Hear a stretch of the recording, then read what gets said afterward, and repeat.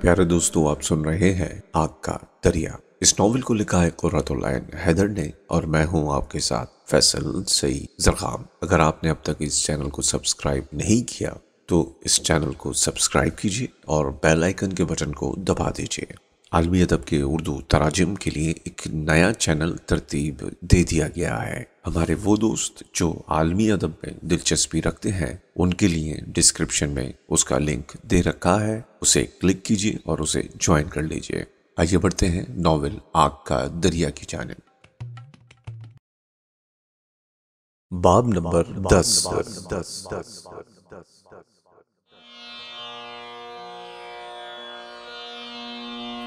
मुबारक हैं वो जिनको शांति मयसर आ चुकी है।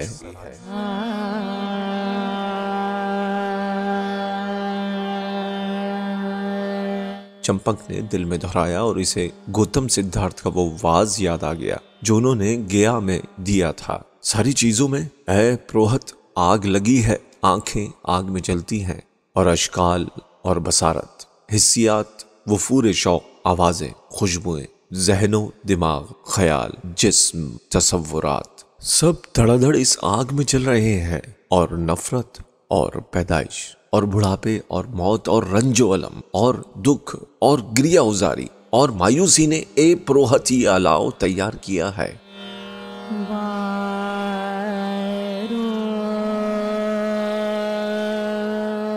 आश्रम का तालब इल्म लड़का वापस जा चुका था। जंगल, पुरवाई हवा में सनसना रहा था। दरख्तों के नीचे से चंद बेगोनिया कशकोल संभाले अपनी झोपड़ियों की तरफ़ जा रही थी। इनके चेहरे पर किस कदर सुकून था क्योंकि वो नदी में दाखिल हो चुकी थी। उस रास्ते पर चल रही थी, जहाँ से कभी वापसी नहीं होती। क्या मैं भी नदी में दाखिल हो सकूँगी? चंपक ने उदासी से सोचा। मुबारक है वो, उसने दिल में दोहराया।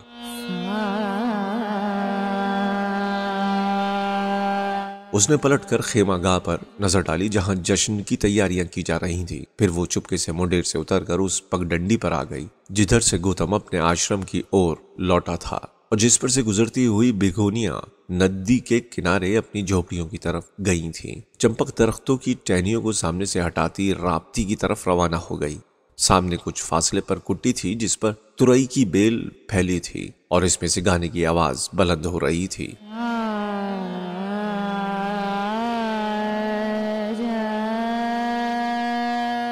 यहाँ उसने सुन रखा था कि बुज़ुर्ग तरीन राहबा सुमन रहती हैं, जो कौशल देश के एक राजा की बहन है और पचास साल से सन्यासन की हैसियत से इस कुट्टी में रहती आई थी। श्रवस्ती बिगोनियों का सबसे बड़ा मरकज था। इस वक्त इनकी टोलियाँ भीख मांग कर लौट रही थी। इनमें हर तबके और हर उम्र की औरतें शामिल थीं।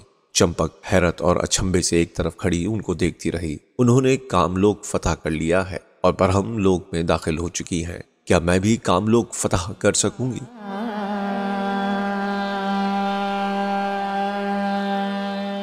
उसे गौतम नीलंबर की याद आई। उसे हरिशंकर का ख्याल आया जो बरसों से उसके दिल में रहता था। इन भेगोनियों ने काम लोग किस तरह तस्खीर किया? वो सोचती रही मगर उसकी हिम्मत न पड़ी कि उनके करीब जाकर उनसे बात करे। वो जो जरतार बनारसी सारी और सोने के जेवरों से मुजयन थी, वो जी भर कर राग और रंग की दुनिया से महजूज होती थी। हिस्सियात की कनीज, जो जब से उस लड़के से बातें करके आई थी, जी ही जी में एक नामालूम सी खुशी की कैफियत महसूस कर रही थी। वो ऐसी हकीर बंदी उन ऊँची पवित्र देवबालाओं से क्या बात कर सकती थी?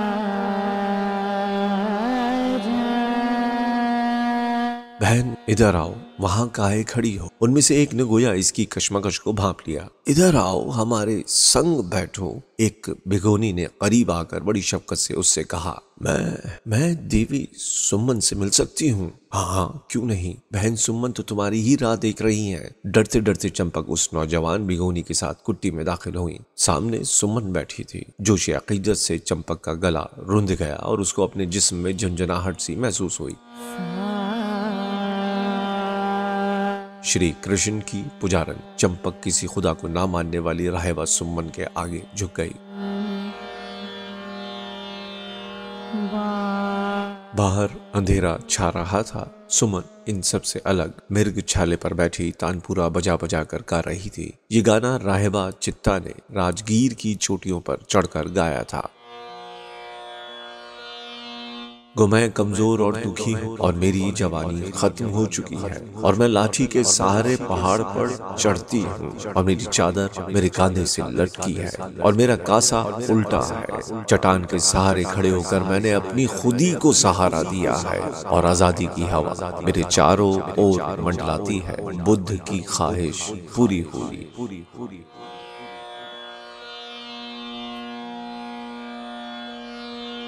चंपक कुट्टी की दहलीज में बैठी रही। भिगोनिया गा रही थी, यकलख्त। चंपा ने तय कर लिया कि वो अपनी बनारसी साड़ी यहीं फेंक कर और केसरी धोती लपेट कर उनसे आन मिलेगी। इन लोगों के और इसके दरमियान मुगायरत की जो दीवार खड़ी है, उसको वो अपने इस लिबास और इस ज़िंदगी के साथ कभी उबूर नहीं कर सकती। मुझे कुछ गोतमी के बारे में बताओ। कुछ शाखिया मुन्नी के बारे में। उसने डरते डरते सुमन से कहा सुमन खाली खाली आँखों से उसे देखने लगी। एक लम्हे के लिए चंपक को डर सा लगा। इनकी आँखों में गुजरे हुए वक्त की छाया झिलमिला रही थी और चंपक को मालूम था कि सुमन कितनी बूढ़ी है और चंपक को वक्त से डर लगता था।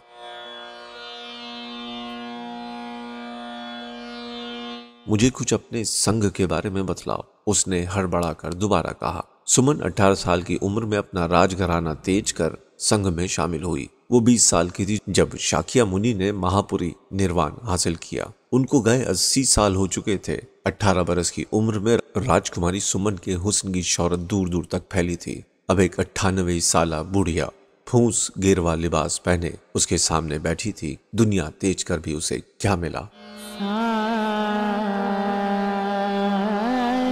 चंपक के दिल में किसी चोर ने पूछा, अगर मैंने दुनिया छोड़ दी तो मुझे शांति मिल जाएगी। अगर यहाँ भी शांति ना मिली तो उसने आँखें बंद कर ली। फिर उसने आहिस्ता से सुमन की सारी के किनारे को छुआ। सुमन गुजरते हुए वक्त की गवाह, शाकिया मुनि के कदमों में बैठ चुकी थी। जेतवन विहार की गंद कुट्टी मौतर कमरा, जिसमें महात्मा बुद्ध रहते थे, में दाखिल हो चुकी थी। कुंडल केशी से वो भाई से कर चुकी थी। चंपक ने उसकी सारी के किनारे को छुआ और उसे महसूस हुआ, जैसे इस लम्स के ज़रिए वो शाकिया मुनि तक भी पहुँच गई है। और इसी एहसास से उसे एक लम्हे के लिए बड़ा सुकून मिला। रोहनी नदी के किनारे शाकिया मुनि का आवाज़ सुनने के बाद मुल्क के 500 उमरा ने दुनिया त्याग दी थी। इनकी बीबियाँ शाकिया मुनि की खाला और सोतीली माँ महा प्रजापति के पास आई, जिन्होंने अपने शौहर के मरने के बाद रहबानियत इख्तियार कर ली थी और उन्होंने प्रजापति से कहा कि हम भी तर्क अलायक के ख्वाहिशमंद हैं। शाकिया मुनि ने उनका संग कायम किया और शहजादियाँ और गृहस्थी और हर तबके और हर उम्र की लड़कियाँ भिगोनी बनने लगी।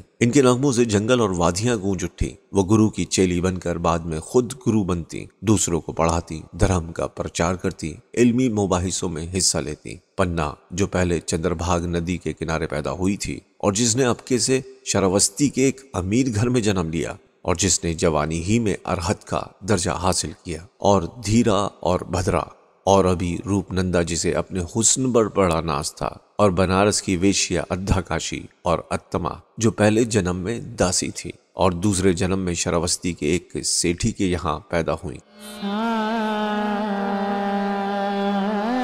और राजा भीम बसार के प्रोहत की लड़की सोमा, जो जेतवन के नीम तारीख कुंज में बैठी थी और मारा इबलीस ने हवा में नमूदार होकर उसे मुखातिब किया कि, ओ औरत, जिसके पास सिर्फ़ दो उंगलियों का एहसास है तो इस मैदान को तस्खीर नहीं कर सकती, जिस पर बड़े बड़े ऋषि मुनि चलते हुए घबराते हैं। क्योंकि औरत जो सात, आठ साल की उम्र से रसोई में चावल उबालना शुरू करती है, और सारे वक्त ये मालूम करने के लिए कि चावल गले हैं कि नहीं, डोई से निकाल निकाल कर अपनी दो उंगलियों से उनकी कनी देखती है।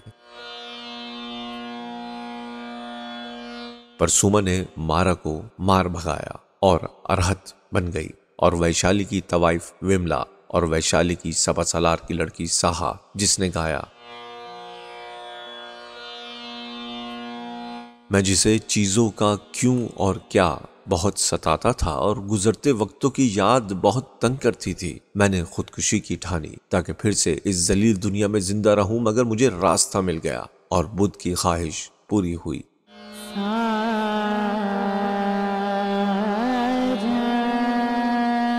और शरावस्ती की ब्राह्मणजादी मुक्ता और वैशाली की रक्तासा अम्बापाली और हंसवती शहर की सुंदरी नंदा और राजगीर की घुंघरियाले बालों वाली कुंडल केशी, जो एक डाकू के इश्क में दिल शिकस्ता होकर पहले जैन सन्यासन बनी, जो सेब की टहनी हाथ में लिए गाँव गाँव ललकारती फिरती के कोई है जो आनकर मुझे बहस में हराए।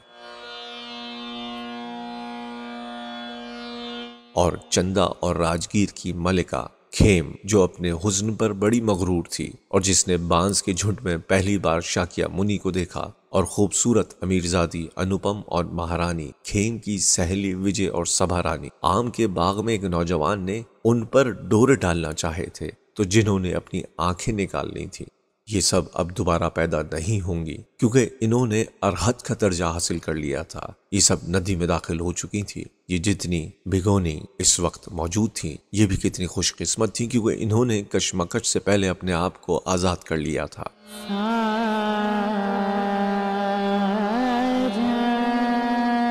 चंपक ने कुट्टी के बाहर नज़र डाली। दरख्तों के उस पार, खेमगा में रोशनियाँ झिलमिला उठी थी। बाहर कोई इसे आवाज़ें दे रहा था। वो कुट्टी से बाहर निकली। खवासी और हरकारे उसे ढूंढते हुए यहाँ आ पहुँचे थे क्योंकि जश्न के लिए खेमों में उसका इंतज़ार किया जा रहा था। औरतों के मुतालिक हमारा क्या रवैया होना चाहिए? सौ साल कबल यही शरावस्ती में एक अहम सवाल किया गया था। इनकी तरफ़ देखना भी नहीं आनंद, जवाब देना था। लेकिन फ़र्ज़ कीजिए वो नज़र आ ही जाए। इनसे बात मत करना। लेकिन अगर वो खुद हमसे बातें करने लगे तो बराबर जागते रहना।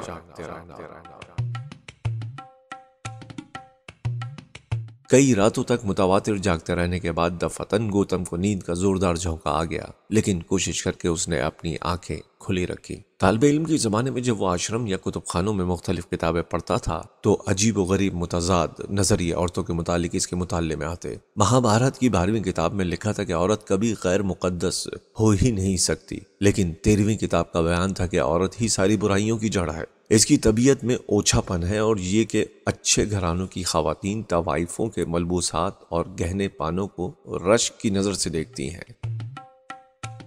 और चूँकि सारा शर पैदाइश की वजह से जहूर में आता है और औरत पैदा करने वाली है, लिहाजा औरत ही दुनिया के सारे शर की जिम्मेदार है और ये कि औरत सिर्फ़ मोहब्बत की भूखी है और सख्त नाकाबले एतबार। लेकिन इसी सहीफे में यह भी लिखा था कि इन सब कमजोरियों के बावजूद औरत की इज़्ज़त करना चाहिए। साथ ही साथ औरत को देवी का दर्जा हासिल था। इसकी वफादारी शराफत शर्महाया की ऋषि मनी कस्में खाते थे। लेकिन शरावस्ती की वैशियाएँ और और नाटक में अदा करने वाली नाटिकाएँ और सियासी खिदमत अंजाम देने वाली जासूस औरतें और विश कन्याएँ भी तो औरतें थीं। और उरूशी ने अपने चाहने वालों से कहा था कि क्यों अपनी जान के पीछे हाथ धोकर पड़े हो, खुद को भेड़ियों के पंजों से बचाओ। औरत से दोस्ती रखना नामुमकिन है, क्योंकि इनके दिल भेड़ियों के दिल की मानंद होते हैं। और दूसरी तरफ़ गंधारी थी, जिसने अपने अंधे मंगेतर की खातिर खुद भी अपनी आँखों पर पट्टी बाँध ली थी। और अनसविया इस कदर वफा शुआर थी कि अपने पति को खुद अपनी सौतन के घर पहुँचाने गई थी। और कहीं पर यह भी लिखा था कि पति वर्ता औरत के लिए दूसरे आदमी साय के समान है। और मनु महाराज ने कहा था कि जिस जगह औरतों की इज़्ज़त की जाती है, वहाँ देवता खुशी से रहते हैं। लेकिन शाकिया मुन्नी ने कहा था, औरत बेवकूफ़ होती है आनंद, औरत हासिद होती है आनंद, औरत बद बातिन होती है आनंद, औरत से बचो, औरत से बचो। नारी नृत्य है मुजस्समाए शर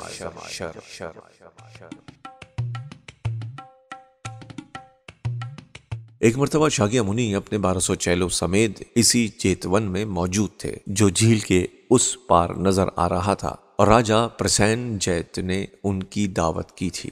और आनंद जो कहीं बाहर गया हुआ था, इस दावत में ना पहुँच सका। खूबसूरत आनंद ने अपने कशकोल उठाया और हमेशा की तरह सोच में डूबा, शहर में भीख मांगने के लिए निकल गया। इसके लिए कश्तरी और चंडाल सब बराबर थे। और इसे अपनी नेकनामी का बड़ा ख्याल था। और बड़े वकार के साथ उसने शहर पना की, खंदक अबूर की और शहरावस्ती के फाटक में दाखिल हुआ और भीख मांगते मांगते एक मशहूर रक्कासा के दरवाजे पर पहुँचा और रक्कासा की लड़की इस पर आशिक हो गई और उसने ऐसा जादू डाला कि बेचारा आनंद दीक्षिणा लेना भूलकर सीधे उसके घर में दाखिल हो गया और शाही महल के ईवान जियाफत में बैठे बैठे शाकिया मुनि को इल्म हुआ कि आनंद बड़ी आफत में मुबतला है। और उन्होंने दूसरे चेले को इसकी दस्तगिरी के लिए रवाना किया। और शाकिया मुनि ने आनंद से कहा, मैं अपनी पूरी निर्वाण के बाद चाहता हूँ कि तुम सब मेरे खास चेले, बुद्धि सत्तव और महासत्तव और अरहत मुकम्मल निजात हासिल करने के बजाय आखिरी, आखिर क्लिपों में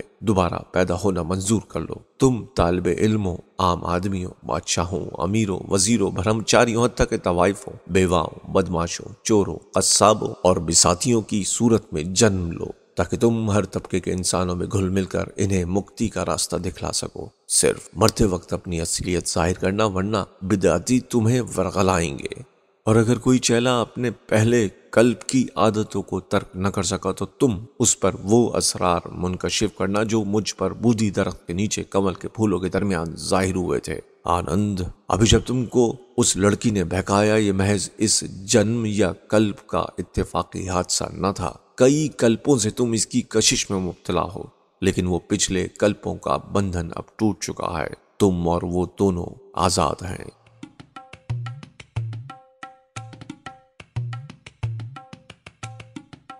आज़ादी का मकसद क्या है? इसके मायने क्या है? इसका फैसला कौन करेगा कि कौन आज़ाद है और कौन नहीं? गौतम ने अपने आप से सवाल किया, हरिशंकर, तुमको आज़ादी की तलाश में क्या मिला? आनंद, असरार जो तुम पर मुनकशिफ हुए, वो सिवाय तुम्हारे और कौन जानेगा? हम सब अपने अपने असरार में किसी दूसरे को शरीक नहीं कर सकते।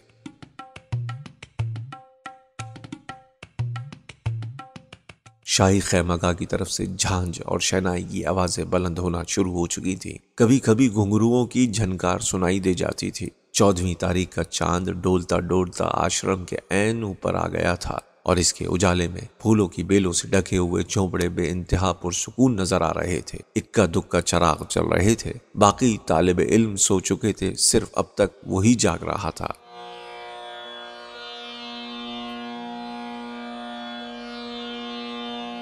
जाने इस समय राजन के पड़ाव पर क्या हो रहा होगा? रोशनी, मौसीकी और रक्स। उसने अपने जहन में चंपक के तस्वुर को इन्हीं तीनों चीज़ों से वाबस्ता कर रखा था, रोशनी, मौसीकी और रक्स। वो आहिस्ता से उठा और कंधे पर चादर अच्छी तरह से लपेट कर दबे पाऊँ आश्रम से बाहर निकला और महवा के बाग की सिमत रवाना हो गया। इस समय वो बड़ी भारी चोरी कर रहा था। और इस चोरी पर शिद्दत से मसरूर था। इसका साया ज़मीन पर उसके पीछे पीछे चलता रहा। इसके पैरों के नीचे खुश्क पत्तियाँ ज़ोर ज़ोर से खड़खड़ा रही थी।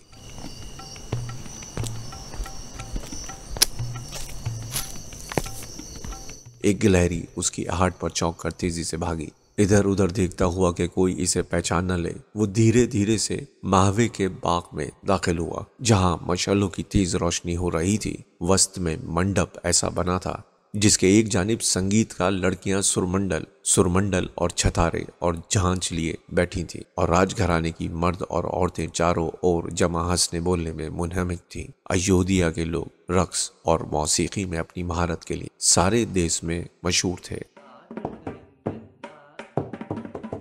इस मजमे में हर शख्स कलावंत जान पड़ता था। दफतन गौतम की नज़र उस बूढ़ी खादमा पर पड़ी, जिसने कल इसे डांटा था। वो जरा घबरा के एक खेमे की आड़ में हो गया। अगर कोई इसे इस समय देख ले तो क्या होगा? वो गौतम नीलम्बर आश्रम का सबसे सादतमंद और काबिल तालब इल्म, मशहूर लेखक और चित्रकार, ब्रह्मचारी, इस समय चुवट्टों और आवारा गर्तों की तरह एक खेमे के पीछे छुपा लड़कियों को नाचता हुआ देख रहा था।